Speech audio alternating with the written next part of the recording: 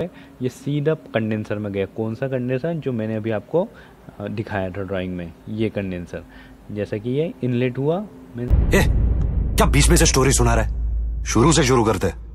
छोटे तू स्टार्ट कर। देवियों और सजनों कुर्सी की पेटी बाँध लीजिए। मौसम बिगड़ने वाला है। वेलकम है आप सभी का मेरे यूट्यूब चैनल इसी डिपे टिप्स में। आज मैं जो टॉपिक कवर करने वाला हूँ वो है वो है वाटर कूल्ड एसी के बारे में कि इसका, इसके अंदर गैस कैसे सर्कुलेट होती है, पानी कैसे सर्कुलेट होता है और इसके अंदर आउटडोर होता है या नहीं या इसके अंदर जो भी बेसिक चीज़ें वो जितनी भी चीज़ें ये सारी मैं आपको बहुत ही इजी तरीके से समझाने की कोशिश करूँगा।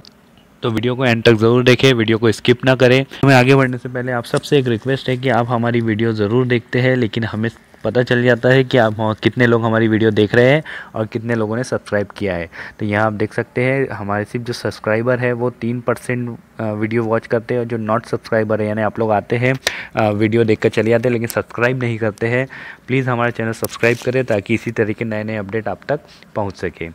तो आगे बढ़ते हैं। आगे आप देखेंगे कि आज मैं जो आपको एक्सप्लेन करूँगा वाटर कूल्ड के बारे में वो एक पैकेज एसी के ऊपर से एक्सप्लेन करूँगा जो देख के आप अ, सारे एसी का वाटर कूल के बारे में समझ सकते हैं। तो इसके अंदर जैसे कि आपको पता है कि ऊपर के सेक्शन में जो है ब्लोर रहता है और और इसके नीचे के सेक्शन में कॉयल वगैरह होती है। मैं थोड़ा जूम करके आपको दिखाता हूँ ये इस सेक्शन में। और उसके नीचे अगर हम देखेंगे तो यहाँ पर जो है कंप्रेसर रहते हैं और इस ये जो पार्ट है, इस सेक्शन में यहाँ पर जो है छोटा सा एक पैनल लगी रहता है जिसमें इलेक्ट्रिक केबलिंग रहती है। अब ये सब तो एयर कूल्ड एसी में भी रहता है और वाटर कूल्ड एसी में भी रहता है, लेकिन इसके अंदर डिफरेंट क्या रहता है? इसके अंदर डिफरेंस ये रहता है कि यहाँ पर एक कंडेंसर दिया रहता है, कंप्रेसर के पीछे में, जो हमारा एयर कूल्ड में आउटडोर हम देते हैं कंडेंसर कॉयल रहती है, और उसके अंदर फ़ैन लगे रहता है, इसके अंदर वैसा कुछ नहीं रहता, सिर्फ़ पीछे में एक कॉइल कंडेंसर दिया रहता है, वो कंडेंसर कुछ इस तरीके का दिखता है। तो ये कंडेंसर तकरीबन तीन साढ़े तीन फिट का रहता है, और इसके अंदर अगर आप देख पाएँगे तो यहाँ पर जो है पानी की पाइपलाइन लगी रहती है जो कि कूलिंग टावर से आता है। ये पानी का सर्कुलेशन में अभी इस टॉपिक इस वीडियो में नहीं एक्सप्लेन करने वाला क्योंकि वीडियो बहुत लंबी हो जाएगी। और जो सिर्फ़ बेसिक मैं नॉलेज आपको देना चाहता हूँ इसके अंदर अ, पानी की दो लाइन रहती है एक इनलेट रहता है जिसमें से पानी आता है और एक आउटलेट रहता है जिसमें से पानी बाहर चले जाता है। तो अभी मैं आपको और थोड़ा अच्छे से बताता हूँ कि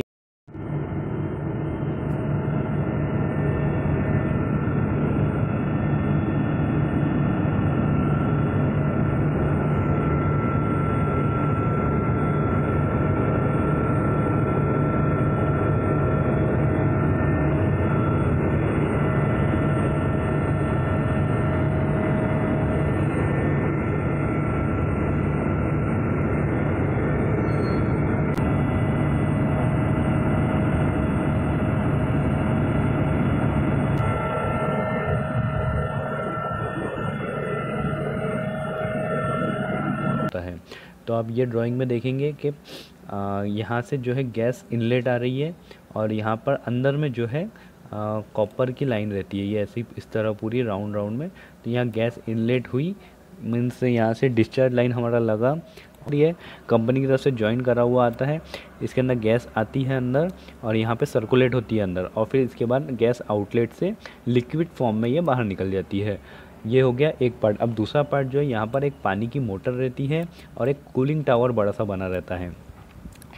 और इस, ये कूलिंग टावर से मोटर पानी खींचती है और इसको जो है इनलेट में देती है वो।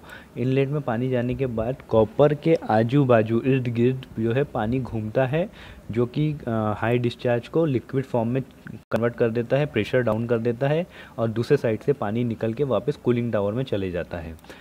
तो इतना तो आप समझ गए होंगे, अब हम आगे बढ़ते हैं। अब मैं आपको पूरी इसकी जो गैस सर्कुलेट होता है, वो एक ड्राइंग में आपको दिखाता हूँ। ये ड्राइंग में आप देखेंगे कि थोड़ा मैं जूम करके आपको बताता हूँ कि ये ड्राइंग में अगर आप देख पाएँगे, यहाँ एक कॉम्प्रेसर है, जो जैसा कि मैंने आपको बताया था कि नीचे साइड में कॉम्प्रेसर रहता है, कोई भी कॉम्प्रेसर जो है, उसका हेड पे आपको पता है कि डिस्चार्ज निकलता है तो यहाँ से डिस्चार्ज बाहर निकला और ये यहाँ से सर्कुलेट होते हुए ये हाई प्रेशर में डिस्चार्ज निकल रहा है। और यहाँ से सर्कुलेट होते हुए ये सीधा कंडेंसर में गया। कौन सा कंडेंसर जो मैंने अभी आपको दिखाया था ड्राइंग में, ये कंडेंसर जैसा कि ये इनलेट हुआ मीन्स यहाँ से ये ये यहाँ से कंडेंसर में गया और यहाँ पर गैस सर्कुलेट हुई और दूसरे साइड से निकल गया। मीन्स अगर हम इसे देखेंगे तो डिस्चार्ज से कंप्रेसर के डिस्चार्ज से निकल के सीधा ये इनलेट में गया।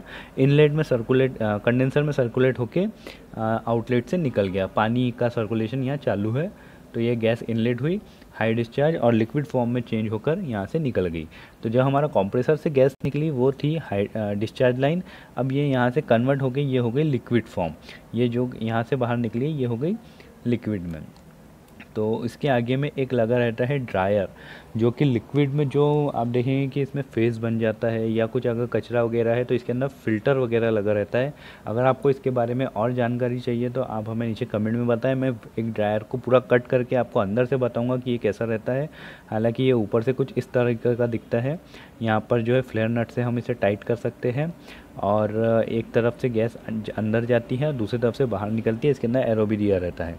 तो ये एक ड्रायर लगा हुआ है, जैसा ये एरो दिखा रहा है कि पीछे से गैस आई और आगे चली गई। बाहर निकलने के बाद भी ये गैस लिक्विड फॉर्म में ही रहती है। अब इसके बाद जो है गैस सर्कुलेट होके इस इस वॉल पे गई। अब ये वॉल क्या है? यहाँ पे देखिए एक एक्सपेंशन वॉल लिखा हुआ है। ये है एक्सपेंशन वॉल एक्सपेंशन वॉल का काम है कि लिक्विड या हाई प्रेशर को लो प्रेशर में कन्वर्ट करना।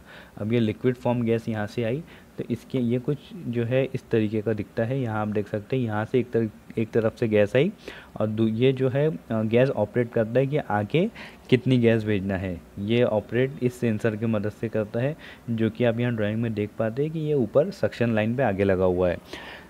तो ये जो है एक साइड से गैस आई और ये उतना वॉल खोल देता है। अगर ज़्यादा इसको अंदर ज़्यादा हीटिंग है ज़्यादा कूलिंग करना है तो ये ज़्यादा खोल देता है। अगर कूलिंग मेंटेन हो गई तो ये इसे बंद कर देता है और ये आगे में गैस सर्कुलेट हो जाती है।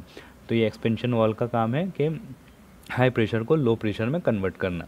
अब ये आगे में जो गैस जा रही है, आप यहाँ देख पा रहे हो कि एक डिस्ट्रीब्यूटर लगा हुआ है। डिस्ट्रीब्यूटर मीन्स ये जो है ये ऑपरेटर कॉइल, ये हमारी ऑपरेटर कॉइल है, इसके अंदर ये डिस्ट्रीब्यूट कर रहा है सारी गैसों को। तो गैस जो है अलग अलग पार्ट में तीन, चार कॉइल यहाँ दिख रही है तो चार कॉइल में डिस्ट्रीब्यूट कर रहा है। यहाँ पे सारे में सर्कुलेट होके, सारी कॉइल में सर्कुलेट होके एक हेडर लाइन गई है सक्शन की, जो कि यहाँ, इसके आगे से जो हमारी लाइन है, वो ठंडी हो जाती है स्वेटिंग आती है पानी की। तो इसके अंदर जो है ये ऑपरेटर में यहाँ ब्लोर लगा हुआ है, ये ऑपरेटर में गैस सर्कुलेट हो रही है ब्लोर आगे ठंडी हवा फेंक रहा है, इसके आगे एक हेडर लाइन लगी हुई है। हेडर लाइन से होते हुए गैस हमारी एक एक ही हेडर लाइन से होते हुए वापस नीचे की तरफ़ जा रही है। अब ये नीचे की तरफ़ कहाँ जा रही है? ये जा रही है हमारे कॉम्प्रेसर के सक्शन के तरफ़। तो कॉम्प्रेसर यहाँ से वापस गैस खींच रहा है और यहाँ से वापस आगे फेंक रहा है। तो उम्मीद करता हूँ आपको हमारी ये वीडियो पसंद आई होगी। अगर आपको इस वीडियो में कोई डाउट है तो हमें नीचे कमेंट में ज़रूर बताएँ। और आप कौन से टॉपिक पे वीडियो देखना चाहते हैं, वो भी हमें ज़रूर बताएँ। साथ ही हमारे वीडियो लिस्ट जाकर चेक करें, यहाँ पर काफ़ी सारी हमने वीडियो बना के रखा रही टिप्स एंड ट्रिक्स हैं तो आप जो जाके विज़िट करें। और अगर हमारा चैनल आपको पसंद आए तो हमारे चैनल को सब्सक्राइब करें। Thank you.